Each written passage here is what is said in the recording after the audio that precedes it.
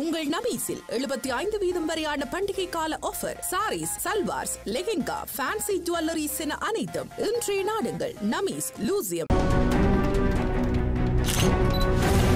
IBC Tamil செய்திகள்.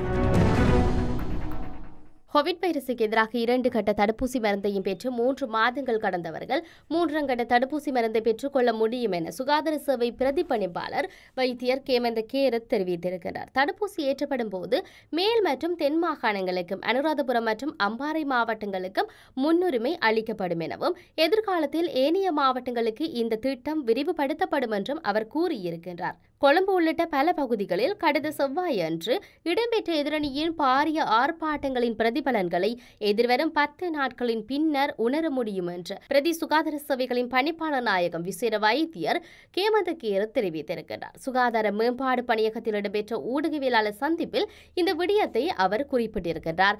ஆர்ப்பாட்டங்கள் மாத்திரமன்றி மத வழிபாடுகள் ஏனைய வைபவங்கள் உள்ளிட்டவைக்கான ஒன்று கூடல்களையும் தவிர்த்துக் கொள்வதே தற்போது நாட்டுக்கு ஆற்றும் பாரிய சேவையாகும் என்றும் கேமந்த கீரன் தெரிவித்திருக்கிறார். இதற்கு முன்னர் பல சந்தர்ப்பங்களில் இவ்வாறான ஒன்று கூடல்கள் இடம்பெற்றதால் பல பாடங்களை கற்றிருக்கின்றோம்.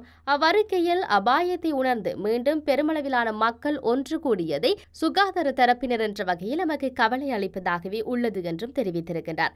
நாம் இன்னமும் மிகவும் அபாயமான நிலவியிலேயே இருக்கின்றோம். எனவே மீண்டும் ஒரு முறை இதுபோன்ற செயற்பாடுகளில் ஈடுபட முடியாது என்றும் அவர் குறிப்பிட்டிருக்கின்றார். ஆர்ப்பாட்டங்கள் மாத்திரமின்றி மத வழிபாடுகள் ஏனைய வைபவங்கள் உள்ளிட்டவற்றின் மூலம் கோவிட் தொற்று பரவக்கூடிய வாய்ப்புகள் அதிகமாகும். எனவே இதுபோன்ற அனைத்து செயற்பாடுகளிலிருந்து விலகி இருக்க வேண்டும் என்றும் அவர் தெரிவித்திருக்கின்றார்.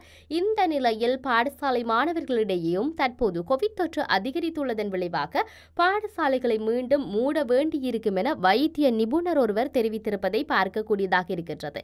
பெரியவர்கள் மிகவும் அவதானமாக இருக்க வேண்டும் எனவும் லேடி ரிச்வே சிறுவர் வைத்தியசாலையின் குழந்தைகள் நல வைத்திய நிபுணர் டாக்டர் தீபால் பெரியரா எச்சரிக்கை விடுத்திருப்பதை பார்க்கக்கூடியதாக இருக்கின்றது.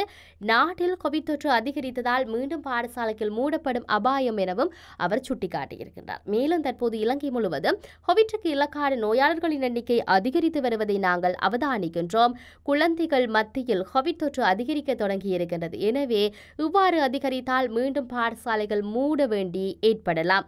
அத்துடன் சுகாதார நடைமுறைகளை கடுமையாக பின்பற்ற வேண்டும் எனவும் அதனை விடுத்து நோயை வீட்டுக்கு எடுத்துச் செல்ல வேண்டாம் எனவும் அவர் அறிவுறுத்தியதை பார்க்கக்கூடியதாக இருக்கின்றது. அனைத்து செய்திகளையும் பார்க்க ஐபிசி தமிழ் நியூஸ் சேனலை சப்ஸ்கிரைப் பண்ணுங்க. உடனுக்குடன் செய்திகளை தெரிந்து கொள்ள வேண்டுமா? அப்போ கீழே இருக்கிற பெல் பட்டனை மறக்காம கிளிக் பண்ணுங்க.